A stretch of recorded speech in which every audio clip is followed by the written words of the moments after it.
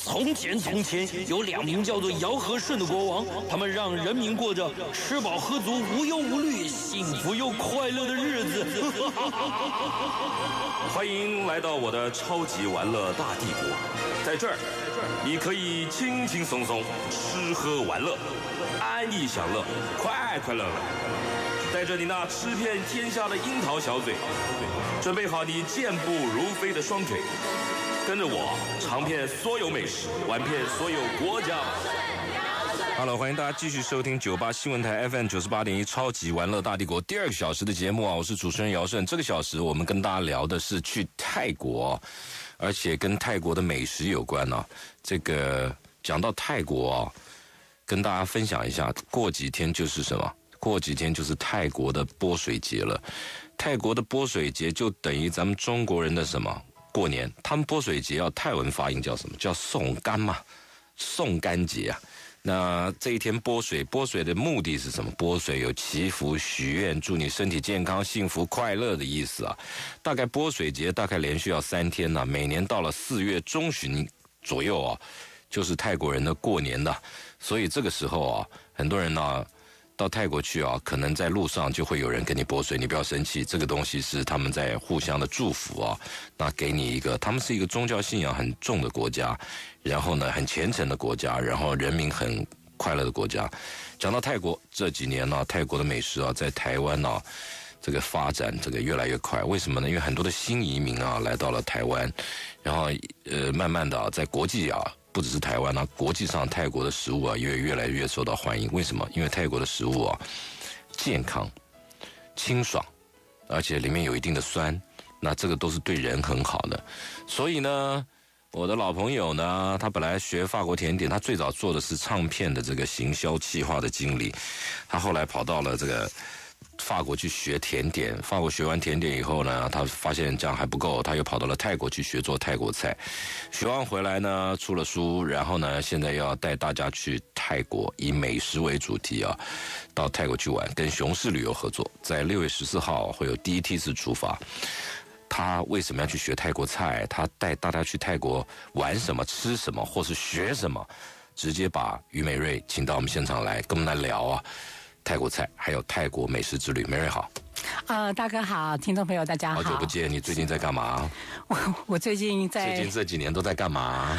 我在泰国学一些泰国菜，然后在台湾教泰国菜，然后去多久了？我在那边来来去去，因为每两个月要回来嘛，我就待了半年多。每两个月要回来干嘛？你用观光签证是吧？对呀，来这一套啊。美瑞，他是我跟听众朋友介绍一下，他以前在 B N G 唱片公司啊，专案经理啊，刘德华、梅艳芳、什么郑伊健啊，那些来到台湾来啊，都要都他都要听他的调度指挥了，因为他是唱片公司嘛，那他们来台湾就打歌嘛，打歌你得要乖啊，对不对？你要上节目啊，干嘛？这个唱片公司的这个经理就是安排，瞧来瞧去就很重要嘛，你你很。就是华仔在大牌，你还是得还是得他听他的嘛。但这个人呢，后来就放弃了高薪啊，就跑去学学美食，学学做菜。为什么？因为其实我想改行。为什么？呃，因为我会觉得说，呃，唱片已经做很久了，还是唱片业没落了？你已经看到趋势。我我我觉得我没有看到，但是我有感觉，我想要换行业。哦，哦，那我就要换行业的话，就要从自己喜欢的开始嘛。嗯，那我最喜欢吃面包，那我开家面包店。很合理吧？哦，那就是因为这样开始，我就一条绳子牵出一头牛。我先跑在台，呃，我先在台湾学面包，那一路我就学到到哪里学面包啊？我在那个谷类研究所啊，淡水这么高级的地方啊，谷物研究所啊，那个比较遥远。那我其实我也是因为在谷类研究所碰到很多的师傅来学习理论方面的课程，对，还有那些。那些食材的这个对不对？对，等等等，呃，就是你要知道它的成分嘛。对对。那我在那边学习之后，我就发现台湾好像没有长期的课程。嗯。那我就跟那个我的同学那些业界的师傅说，那我要去哪里学，可以让我学的比较透彻？那我要开家面包店，他们就说你到法国蓝带。我说法国蓝带什么地方？我说我有听过空。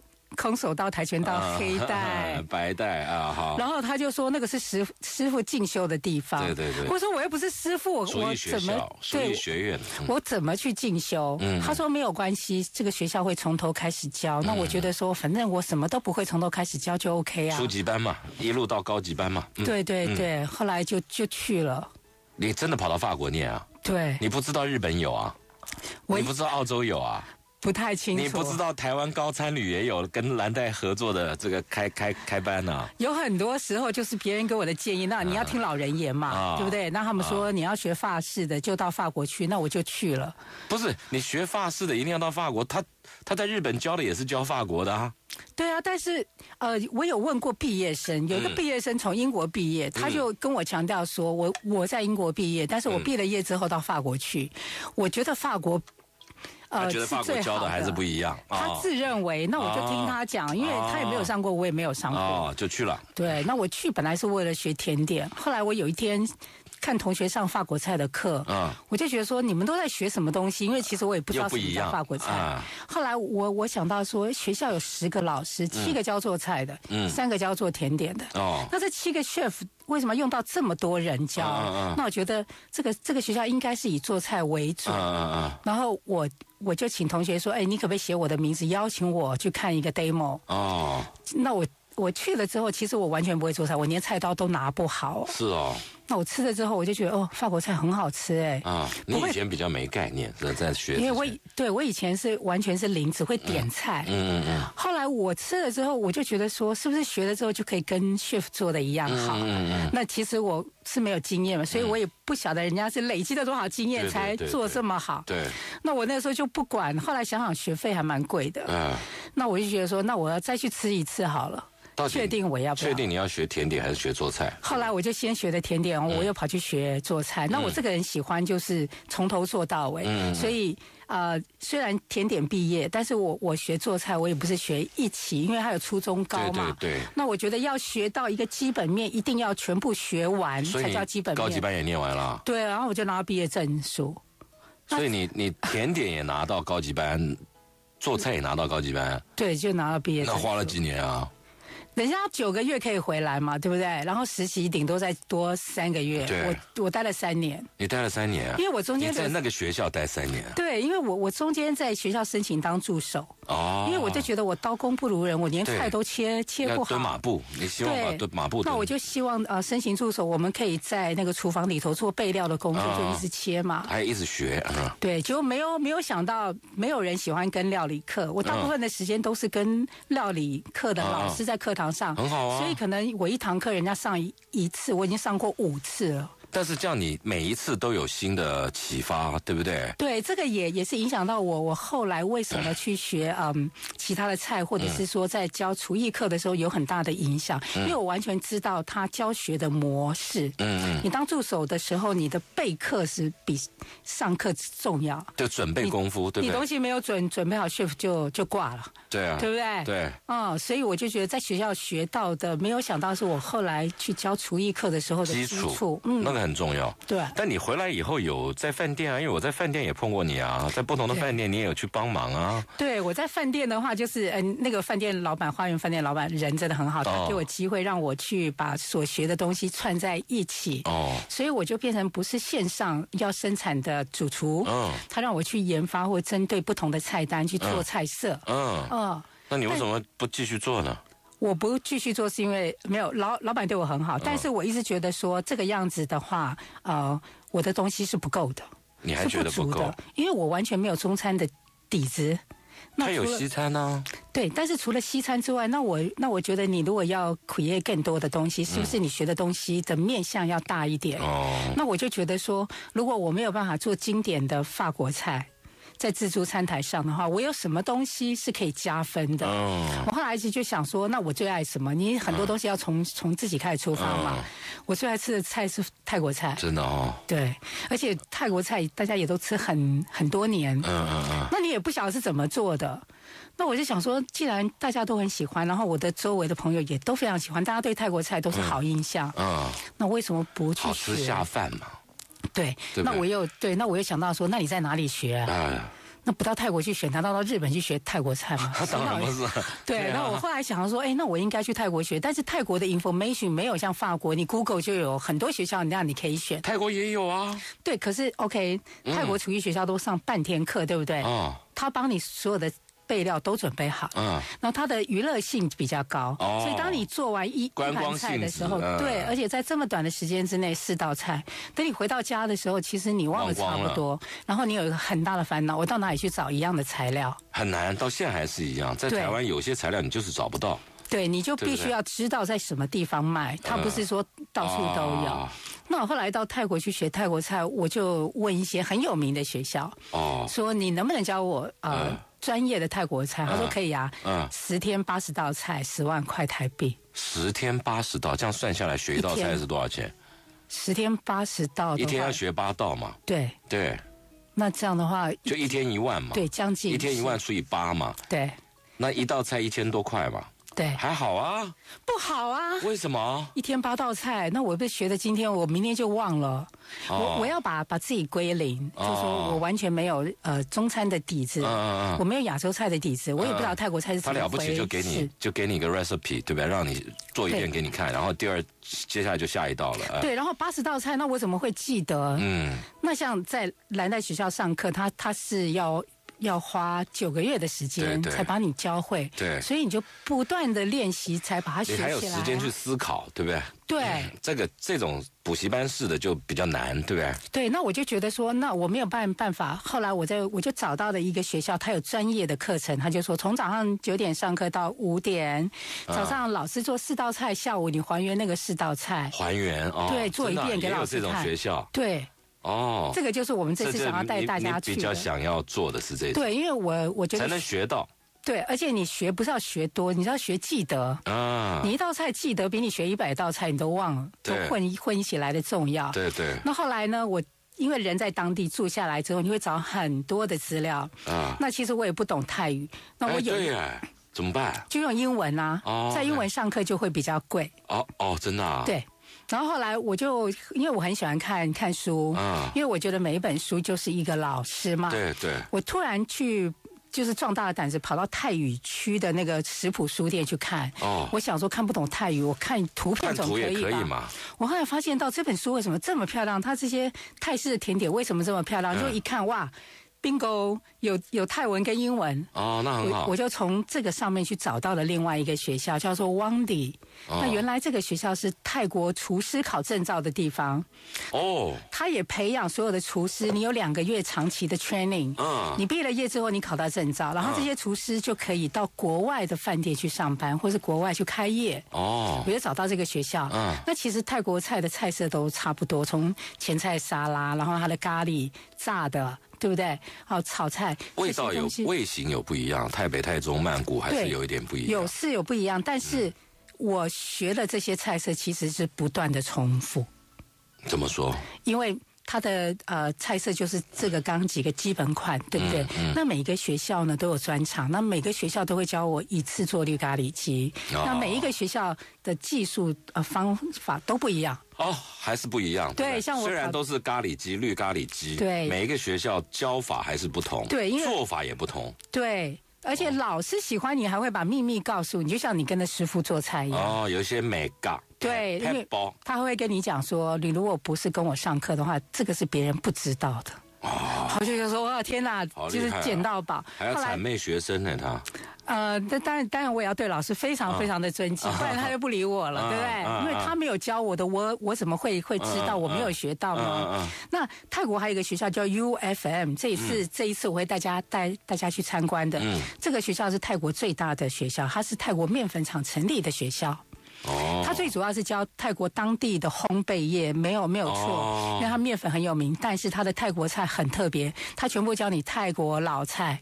哦，他所有的摆盘跟那个做法，连我的泰国同学他们会讲英文，是因为要嫁给外国人嘛？他一看就说：“哇靠，这个是我祖皇家菜啊，那个时代皇室菜。”对，然后他们也有一些皇室的甜点哦，所以我的皇室甜点在任何学校都没有这样的课程，可是在那个学校是有课程的。OK，那我就觉得这些都是意外。所以你去了四五个学校学，对，专业待了三年。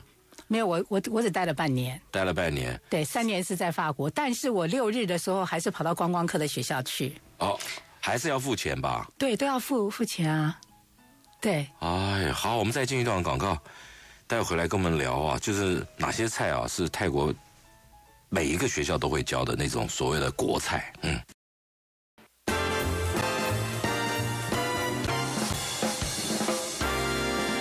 我们继续跟这个台湾籍的泰国厨艺专家于美瑞啊，于老师，烹饪老师啊，这个聊泰国菜啊。那个于美瑞啊，他在六月十四号跟雄狮旅游合作，达人带路，会带大家去泰国从事五天的美食之旅，五天四夜的美食之旅了。那他自己为了学泰国菜啊，自己也花了半年的时间呢，到泰国去，而且在四个不同的学校里面去学。学做泰国菜回来啊，出了几本的这个泰国的烹调料理的书。那现在要带大家去泰国，以吃为主题啊，不止带大家去泰国吃，还大家带大家去泰国的厨艺学校学做菜。当然了，学个一两道啊。你回来就可以炫了，哎，没事，我跟你聊泰国菜啊，非吃不可过。我们先讲，很多人讲月亮虾饼，其实泰国并没有，对不对？是真的。泰国只有虾饼，没有月亮虾饼，对不对？对他们叫做金钱饼啦，叫金钱虾饼，对，就是红红咖喱跟那个鱼肉去做的炸出来的饼，有点像天妇罗那样。那个他们是有哦，是有，但是没有月亮虾饼，对。没有，没那么厉害啊！什么叫没那么厉害？那很好吃啊！我我去学那个老菜的时候，他们真的教了我我一道叫做海鲜虾饼，哎，做的很 low 好。怎么做啊？他就是把两个那个。那个润润饼皮，然后中间的那个馅润饼皮，这个是台湾中国人教他们的。对对，他们其实是有受到台湾菜的影响，就是潮州菜的影响。然后他就是把两片夹起来，薄薄的一片去炸。对。然后就想说，哟，这有什么好学的？差太多了。对啊，对不对？虾打成浆，鱼肉打成泥，然后夹在里面炸一下，那个就厉害啦。对啊。这个啊，这个这个不是真正泰国菜了，我觉得这个都受台湾影中国影响了。对。好了，那个青芒青木瓜沙拉一定是泰国菜吧？对对对，这个要学吗？有。对青木瓜沙拉，这有什么好学的啊？我也会做啊。是，但是你要知道说他们的味道是怎么调。例如说像棕榈糖，我们台湾买的棕榈糖都是一整块，对不对？对对对。可泰国棕榈糖是有点 orange 橘色的，而且很流性。哦。我刚开始的时候我就觉得它为什么一直加液体？那个液体是吃还是酱？嗯。那可是吃起来又没有那么咸，因为那个颜颜色我我会以为说是棕榈糖啊，对，结果它是棕榈糖。你看，调了罗旺子。哦，罗旺子、罗旺酱，对不对？对，就是酸酸甜甜的。对对对，嗯。然后那个青木瓜沙拉，里面我猜哈，哈，一定脆的，一定要有，不是一定要有什么鱼露嘛，对吧对？对。虾酱一点点，啊，虾酱不用，虾米。对。对不对？还有脆脆的。大蒜要一点，蒜片要一点。对。对啊，黄姜是南姜香茅要不要？嗯，不用。不用。辣椒要。辣椒要。对，OK，那最重要是那个青木瓜沙拉的那个沙啊木瓜，对，那个很讲究，有差哦。对，他们他们就是自己现爆的。你有看一些那个老老太太，她不是拿刮刀，她直接拿那个菜刀在在上面。对，不是拿削刀嘛，削刀或刨刀那个就逊了嘛。对，因为人家厉害是刀工嘛，对不对？对对对，刀工是一条一条，就像我们中国人切豆腐一样，那个那个功夫嘛，对不对？是真的，因为我我认识泰国同学，他真的带我到他家就东北部。那我一到东北部，到他的。他们的小村庄，我终于知道为什么凉拌木瓜是这么有名。哎，怎么说？因为家家户户都有一棵木瓜树，然后木瓜树只要采收下来就分给大家，所以每一个每一户啊，他家的他家的厨房一定是有青木瓜，因为大家都会 share。啊，你只要两两棵木青木瓜树就吃不完了。啊，哎，可是有差哎，青木瓜沙拉做的好做不好差很多，我觉得关键在那个木瓜。对，那要脆。还要薄，对，还有不能太老，有的吃了跟啃甘蔗一样，那个对，或者是那怎么挑的时候要注意什么？呃，其实你只要是新鲜的，你你自己现现爆的，我觉得都会比你买买直接刨好的来的好。然后第二个，我我会觉得。你的木瓜就是第一个你要挑嫩一点，因为我也常常买到那种很老的。对。OK。那其实你要多嫩，你就切开之后，你大概就会知道。那我我觉得最好是现点现做是最好。好。你如果把木瓜丝冰很久了。嗯，不行不行不行不行。还有一个，打抛猪，嗯，台湾没有一个打抛猪是真的用打抛液，都是用九层塔，那都不对嘛。对，真正的打抛液什么味道？真的打抛液它会比九层塔来的辣，而且辣吗？对，我是觉得它有一股嗯发酵味。对，它的味道比较重，然后它的那个辛啊新香料的那个感觉就呃比较重，辣椒的辣哦，是那种辛辣的那个味道比较重。嗯，那其实台湾有人种，有人种，但没人用。对，因为。他们可能就是比较小众。台南的有一个农夫，他有种，有种。对，那有的时候我们到泰国商店可以买到打泡叶。哦。可是打泡叶跟九层塔怎么分呢？嗯。它最主要是那个叶形。就长得就已经不一样啦。对，但但但是你如果都跟你摆一起，你会很难挑。嗯。那。你可以挑那个叶形，只要那个叶形旁边是有那个锯齿状的啊，那就打抛。比较长的是打抛，那圆的，因为他们都是背手的的一种嘛，对。那如果九层塔的话，就是圆叶。啊。那你在泰国的话，泰国到底泰国真的用打抛叶炒吗？对，对吧？可是泰国也有他们当地的九九层塔，哦。所以你到泰国去，你看到九三种九层塔，你会觉得都打泡叶，到底是哪一种？所以像我刚刚说的那个叶形是是很重要。那你自己觉得？用九层塔炒好吃，还是用打泡叶炒好吃？因为台湾几乎每一个师傅都说：“哎呀，一个是不好找，一个是台湾人比较能接受九层塔的味道。”我我会觉得呃，味道是不一样，但是九层塔只是关键之一哦。因为你如果说你你没有用泰式泰国人的酱油跟蚝油哦，一定要泰式的酱油，你做出来就不会接近泰国味，你做出来会比较接近台湾味。泰式的酱油是什么味道？我真的没注意。带甜味，他们的蚝油跟酱油都带带甜味。日本不是也是？对，可是它那个甜味是又不一样，是他们当地的那个泰国味道的的甜味。还有一个就是讲到打泡猪哦，对，做法有点不一样。有人是把那个猪肉煸干再炒，对不对？对，把油脂都煸干。有人觉得要好吃是带一点油，就是那个肉要带一点油，然后吃起来才有。鲜润度，对，所以到底正统是哪一种？OK，这个我的老师在教我的时候，他有特别讲，他说其实我们泰国人，嗯，呃，炒打抛肉的时候不喜欢把肉分开变成散散的，只能用汤匙可以捞起来。我们在炒绞肉的时候，我们特别喜欢把肉变成整块，对，虽然是绞肉哦，可是还是片状。绞肉怎么片状法啊？第一个，你的绞肉不能绞很很细的肉，绞肉都绞成像粉末了，所以你要绞成粗一点的，然后你炒的时候不要去。推散开来，哦，整整片，所以炒出来之后会有你刚刚说的边的，但是它不是分两个步骤，嗯嗯，它在炒的时候，我们台语讲你卖个老好刷，你别再老好刷，嘿，你就让它整整整片，然后再来就是像我去买买绞肉的时候，台湾绞肉绞很细，嗯，你就算是绞粗的还是非常细，泰国的绞肉就跟你讲的非常的大，对嘛对嘛，对。像一球一球、一坨一坨比较，对，他们比较喜欢吃这种。对他们喜欢那个绞肉是可以夹起来的感觉，而不是出出条根去去踩一匙这样子。对，那虽然他们吃饭不是用筷子，他们除了吃面是用筷子，他们用那个呃叉子跟汤匙。对对对，他还是喜欢那个碎肉不要。不要太碎，不要像粉一样哦。这个是一个重点。哎，讲到这打包猪，我肚子好饿，嗯，这因为它好下饭啊，对。对，就是因为那个蚝油、酱油，还有你用大蒜跟辣椒先爆香，然后你你再怎么煮都会好吃。还有一个就是他们讲台湾买不到泰国的柠檬，泰国的柠檬跟跟台湾柠檬就是不一样。对对对，就是差那个也味道有差。对对对，那但。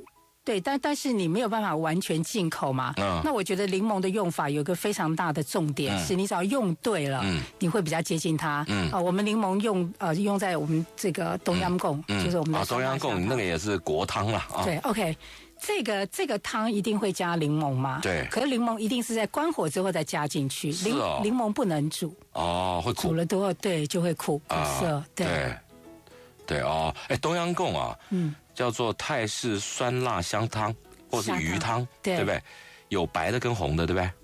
哦，对，对不对？其实红的话就是我们加上辣虾膏，对，我们加一些辣椒啊。嗯，白的的话呢，其实有清汤版，也有加加一点点椰浆，做一点浓汤版本。哎，你讲到椰浆啊，嗯，这个又有学问了。现在很多泰式餐厅啊，就省事，买一个罐头就直接弄。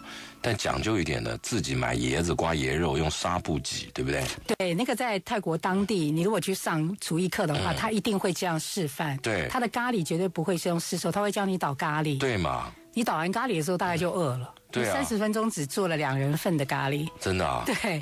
一定要加椰浆、椰奶嘛，对不对？那里面对。对，但是他加椰浆跟椰奶在做菜的时候有一个非常大的重点，就是你必须因为椰奶是它很油，对，然后咖喱也很油，你在炒的时候你必须慢慢的加热，让那个油脂浮上来。哦。所以你做完的好的那个咖喱的汤，不管是绿咖喱鸡或红咖喱鸭，它必须像那个印印度咖喱一样，上面有一层油在上头，这样你吃起来的咖喱才是清爽的。所以。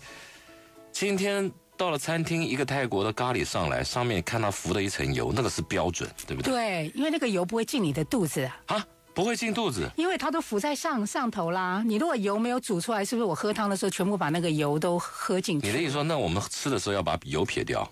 对，因为其实你你呃捞出来的时候，那个油它就像麻辣锅一样啊，它不太会沾着你的食物食物上。但是那些你看到的油，如果没有煮出来，是在汤里面，嗯，就不行，全部都进肚子。你吃的时候会觉得很浓郁，但是你会很很快就。我觉得很奇怪，那咖喱就咖喱，为什么？绿、红、白差别在哪里？还有一个玛莎拉咖喱，我们进一段广告带回来。嗯，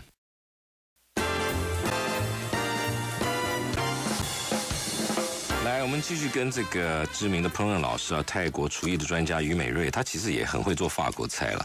聊这个泰国的美食，因为他在六月十四号要带一个团带大家去这个泰国玩呢，然后顺便吃美食，顺便去参观厨艺学校。我们刚刚陆陆续续聊到了这个泰国几个名菜，哎，泰式的咖喱为什么要分绿的、白的、红的，还有玛莎拉，差别在哪里？而且而且他们不同的咖喱一定要配不同的食材啊，绿一定要配鸡，对不对？对呀。然后红一定要配牛。对，或者是鸭子。对，为什么啊？因为其实这个是他们的传统，但是呢，嗯，其实泰国的，我我我吃绿咖喱，我不能配鱼吗？会很奇怪吧？不是有规定吗？没没有啊？对，那为什么不行呢？可人家就红啦！啊，对啊，奇怪了 哈，对不对？哦，下一次我们煮绿咖鱼鲤鱼来吃吃看。我觉得应该可以。没有啦，因为当你呃咖喱里头做鱼的时候，你一定要放一个东西叫做姜。那你姜的东西是不是跟它绿色的元素，例如说香菜这些东西，是不是它那个？好，我们先讲它绿咖喱颜色怎么来的，那个绿怎么？绿色它是从那个绿色的辣辣椒，然后跟那个香菜啊，跟那个绿色来的，是天然的颜颜色啊。那红咖喱的颜色？红咖喱的颜色最主要是他们做咖喱姜黄辣椒。呃，红辣椒，红辣椒哦。那黄咖喱的话是姜黄粉哦，黄咖喱是对。那其实泰国的咖喱，你刚说的白咖喱那个是马来马来西亚的，泰国的咖喱叫做红绿灯。哦，红绿灯就是说红色、黄色、绿色三种。那还有一个玛莎拉。对，玛玛莎拉咖喱是红咖喱，下面又分四种咖喱。哦。玛玛莎门咖喱其实受到印度风的影响，所以它这个咖喱里头加很多的那个啊印度的香料。然后你端出来的时候一定比较浓稠。哎。然后会一定会有马铃薯。哎哦。对，然后大部分都是跟牛。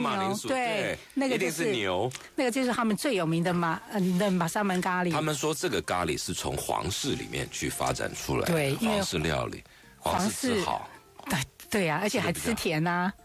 还是比较有有钱嘛，他们皇室建都在曼谷中部。那曼谷中部的口味，像你刚刚提到的，泰国各省的地方口味都不一样。对对，中部吃的比较甜。哦，那马马沙门咖喱呢？它比较接近印度嘛。马沙门，对对对，在马来西亚，他们的口味比较重。哦，对。那其实吃呃肉类、吃昆虫的都在东北部，因为东北部丛林比较穷。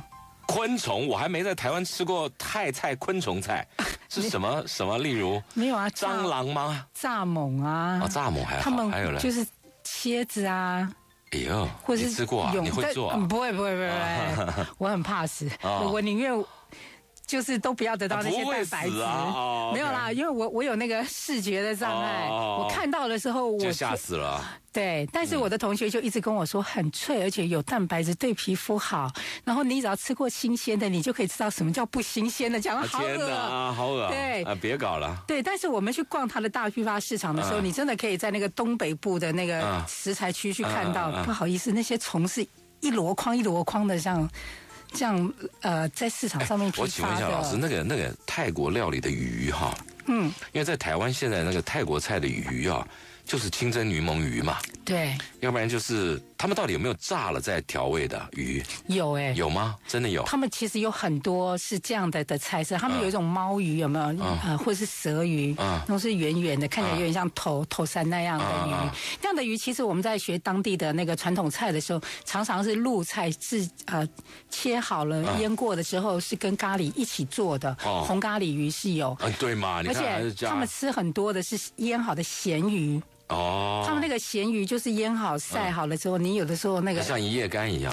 对，其实你你经过你们家就会看到有很多那种东北的路路边的小摊贩，他自己做的，他就在街上卖了。到现在曼谷市区都还可以找得到。其实我泰国菜我最喜欢吃的是东阳贡哈咖喱，还有一个就是很多餐厅里面没有，台湾的餐厅没有，可是泰国街头小吃到处有，就是。用一片小叶子，然后里面放十几种小材料，有没有那个红葱啊，那种弄弄花生碎啊什么的，那卷起来这样，像槟榔叶在包那哦，好好吃哦，那个。对，那个是真的很好吃，但是第一个你叶子可能找台湾找不到那个叶子，对，那到底什么叶啊？那个有点呃类似一种呃。花叶，但是有点像槟榔叶。对，它是深绿色的。对，台湾如果你今天用那个什么美生菜什么，我觉得差多了。对对对，对不对？它其实有有点像这种扇形。对对对对，很像它的那个槟榔叶。我好喜欢吃那个哦。我也好喜欢呢。你学会没？会啊，但是要找到那个叶子。对。因为它的那个配菜哦，其实就是重口味的配菜，它一定会有姜，对，然后一定会有花生粉、沙米粉，对，然后姜的话，你会跟那个凤梨，还有一个红色的酱。对，它那个特制的酱，对对，它那个酱其实都是呃又酸又又甜，又甜，然后有一些大蒜或者是红干葱去做的，那很好吃哦，我好喜欢吃那个哦，我也好爱，而且我觉得那好健康哦，就不会有那种 没有负担呐。对，因为它的纤维非常的多，所以它让你呃消化非常的新陈代谢非常的快。对对对，好了，讲了这几个基本的泰国菜的认识啊，讲回来，你这次。旅行团，你你想怎么带？你怎么安排啊？这个旅旅行团其实我们说的是厨艺跟美食结合，所以第一个一定要吃好，对不对？对，那你带大家去哪里吃啊？其实就是吃好要去哪里吃啊？曼就是在曼曼谷，曼谷的哪几个餐厅？OK，而且最近。亚洲五十里面，曼谷有几个餐厅都在前十名，哎，对不对？可是会去这种吗？不会，不会，因为第一名的餐厅是在曼谷的印度餐厅啊。那我觉得说啊，有很多其实曼呃泰国自由行大家都会去。嗯嗯。那我这次会提到的几个是他们当地的有特色的店，例如说下午茶店。哎呦，你知道他们在泰式下午茶吗？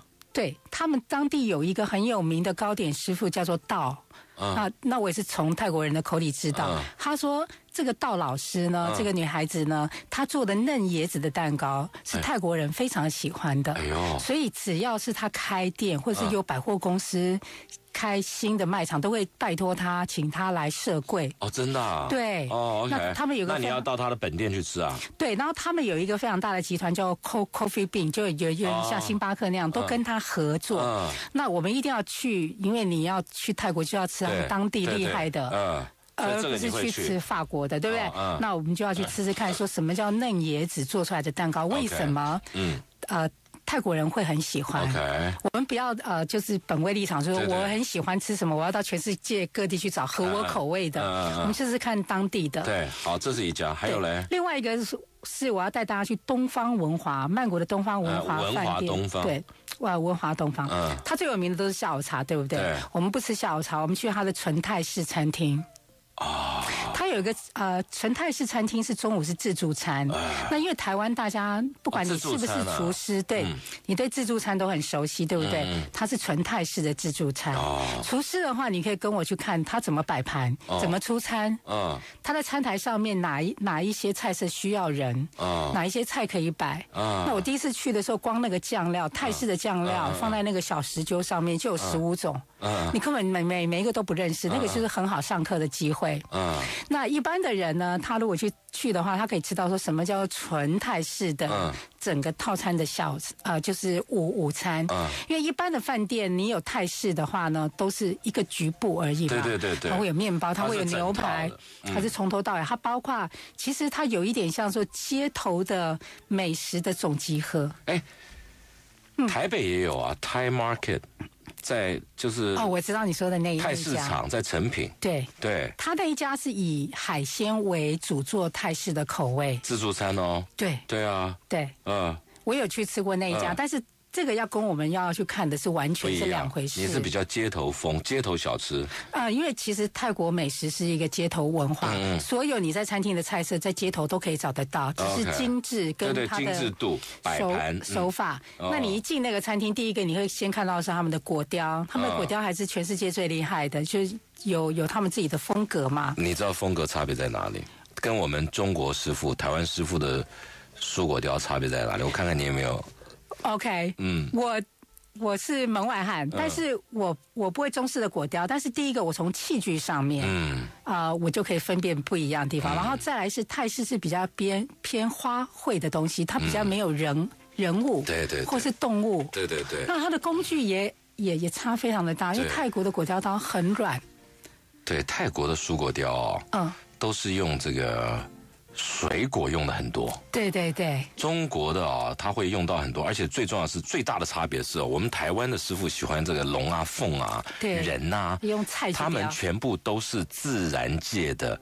树啊，花啊的形状，对不对？差别在这里，我觉得。因为听说啦，嗯，因为听说以前那个皇宫有很多的宫女，那宫女闲的没有没有事，没事干，对，就开始拿个西瓜来雕了。对，就开始雕，然后他们甚至于很会折那个芭蕉叶，嗯，所以他们在那个供奉做仪式的时候，其实有很多的甜点都放在那个芭蕉叶，那都折出来的。你讲泰国的甜点，我要讲到有泰国好多女厨师哦，去用那个绿豆粉。去做那个水果，有没有做的跟真的一样？有没有？对，蔬果小点，对不对？那好，真就跟真的一样，连个莲雾，连个释迦，他都能做。对对对。好像啊，有有有，我我也是在泰国看到那样的东西，以前在台湾都没有看过。有中泰宾馆老早就就有了。那我孤陋寡闻，我我那个时候就是都没有看过。然后我一到泰国去的时候，我我看到那么鲜艳的小东西，其实我有有点呃，你有点不敢吃，你怕它色素，对不对？对。可是你待久了之后，你就觉得说，我就是要这样花花绿绿，我心情才会好。然后你一吃的时候，你就觉得说，为什么那么好吃？我后来就跑到学校去学，去学了是吧？对，很难吧那个？要捏的像很难呢。对你就是需要有一点技术、跟爱心、跟耐耐心。好，但是八九不离十啦。你只要捏圆的，看起来都可爱啊。好，小小颗。我们再进段广告带回来啊，跟我们讲，你你除了去看这个餐吃吃吃名店以外，吃不是不一定是名店，就是还也也也是名店了，还要去参观哪些学校，做哪些事？嗯。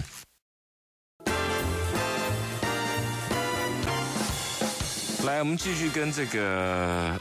美食老师啊，烹饪老师，美食作家于美瑞，他要带大家去泰国啊，去享食五天，跟雄狮旅游合作，等于是达人带路了。除了刚刚讲说去吃这个非常有名的椰子蛋糕，然后去一些名店以外，哎，还有什么名店或学校你会带大家去的？嗯，我我想要带大家去参观的就是我刚刚说的 U F M 这个学校啊。为什么？因为他这个学校的课程非常的多，然后它是一个比较呃有有设备的学校，它有两栋楼。然后它有中央工厂，但我又不懂，我只是个观光客，我怂别子，我去看那干嘛？就是因为你你是观光客，你不会去那个地方啊，那我们才要特地带你去，让你去看一看，说哦，它有哪一些设备，有哪一些课程，将来你下次的时候，你就可以自己去了，对不对？你你是你是想要说对泰国美食有兴趣的人，你是你的目标是锁定这一群人呐？对，那当然我们有有设计半天是上厨艺课。那厨艺课，我们还是要要上上课的哦。然后上课的话，我可能会在旁边担任翻译，因为他直接就说英文。厨艺课一定是我们的那个名菜嘛。国菜，是让你回家可以用的菜。什么青木瓜沙拉？呃，沙拉一定会有一道，然后呢，咖喱一定会有，而且自己倒倒咖喱，然后汤一定会有。东阳贡要学。对，然后炒菜、打打泡肉这一类的，一定都要有。哦。然后最主要的是说，我有跟学校要求带我们去逛大批发市场。哦。小的市场没有办法满满足我们，我们要去那种大批发，像台北的滨江一样。啊，逛大市场。对，逛大市场的话，你逛了之后，你你才会有概念。那因为那个市场我很熟了嘛，所以我就可以直接帮忙说明。对，就说哎，什么东西是可以看，什么东西是可以买的，什么东西是最特别的。不是买了要能带回来，有的不能带回来啊。其实我们喜欢做菜的人一定会想带干货，带胡椒粉啦，对不对？带甚至于棕榈糖，只有在市场可以买得到，你到超市去去买，没有不到一样的。哦，嗯，有差哦，有，对。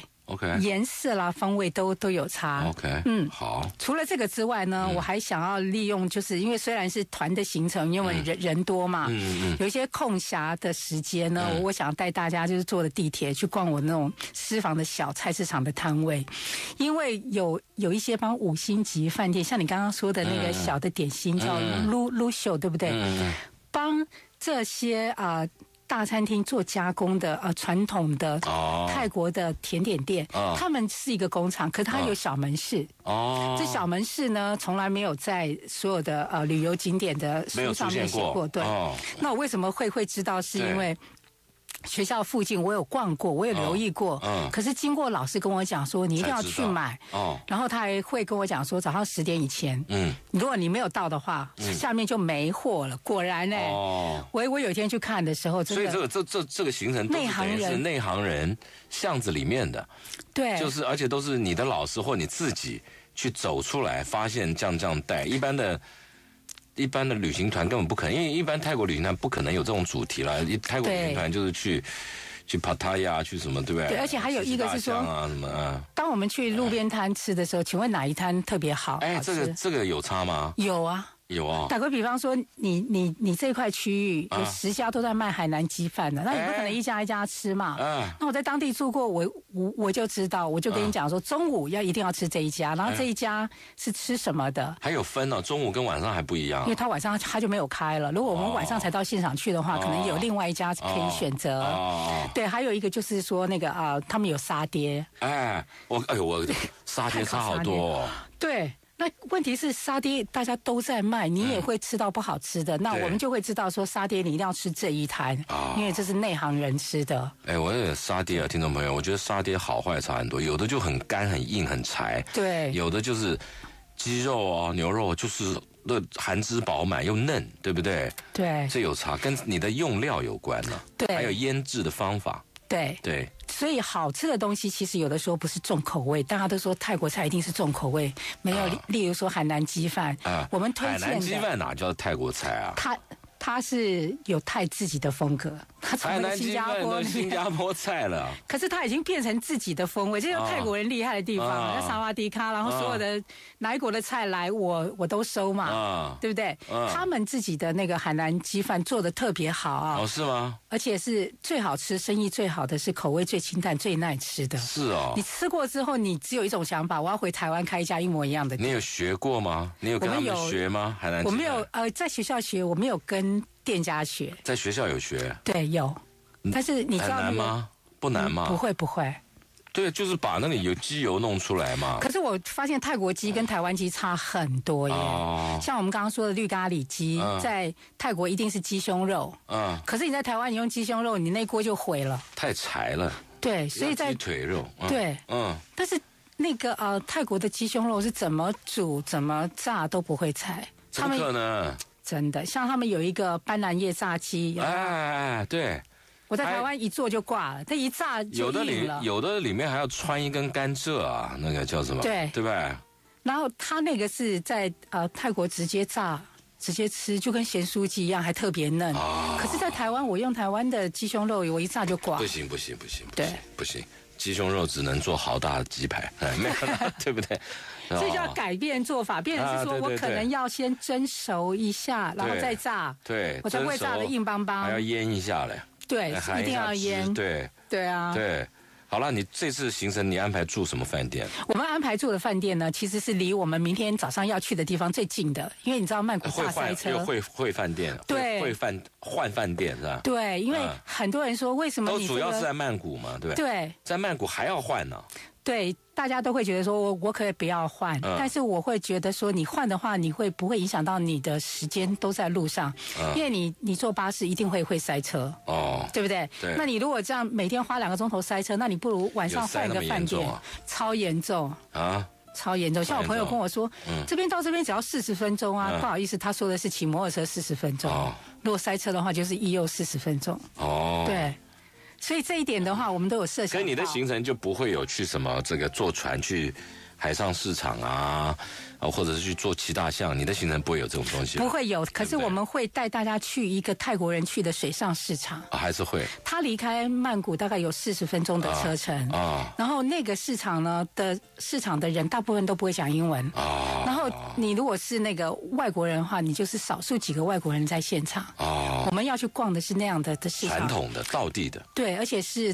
泰国人假日会去的地方哦，真正买东西的地方。对，而且你可以看到有很多的那个泰式传统的厨具啊，哦，还有，还有，还有一些很很潮州的啊，对，还有一些很潮州式的泰国菜。你知道以前的那个潮州移民吗？对对对对，其实都是有钱人，所以那个市场都是有钱人去的地方去逛，所以你可以看到说啊，原来。那前两代，那你要在那里带着大家吃那个潮州式的泰国菜啊？对啊，对啊，我们一定会在那边，然后那个市场也在河旁边啊，所以你就可以看着那个河边。听起来这个肚子好饿哦。好了，听众朋友，节目时间已经到了，六月十四号，这个美瑞老师啊，带带大家去泰国啊，去看美食、吃美食，还有做美食啊。然后老师也出了两本泰国菜的书，大家可以自己上网去找一找看。看他到底到不到底。我们今天节目时间到了，谢谢老师到我们现场，下次来教我们别的啊，拜拜。